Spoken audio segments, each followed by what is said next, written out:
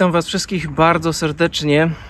19 sierpnia, w piątek, słowami biblijnymi wyjętymi najpierw z Psalmu 63 i 9 wiersza.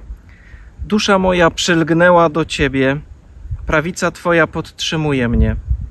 I drugie słowo z drugiego listu Pawła do Tymoteusza z pierwszego rozdziału i dwunastego wiersza. Wiem, komu zawierzyłem i pewien jestem tego, że On mocen jest zachować to, co mi powierzono.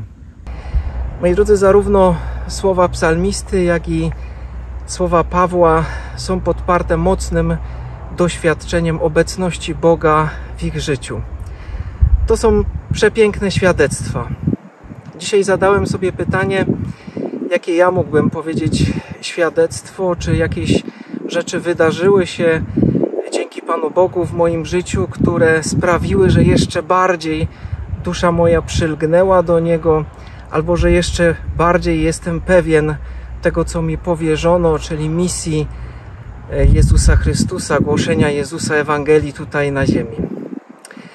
Ale później pomyślałem, że przecież dzięki temu, że Jezus zmarł na krzyżu, nikt z nas nie musi mieć takich doświadczeń. Nikt z nas nie musi zachorować, nie musi cierpieć, nie musi przeżyć jakiegoś wypadku, żeby móc powiedzieć: Pan Bóg jest ze mną, czy ja jestem blisko Boga.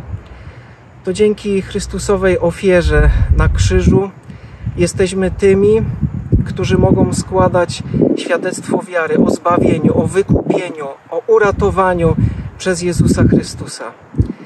Takiego świadectwa, takiej pewności i przylgnięcia do Boga bez względu na okoliczności, bez względu na to, czy coś w naszym życiu się wydarzy, czy doświadczymy jakiegoś cudu, czy nie, życzę każdemu z Was osobno, sobie również.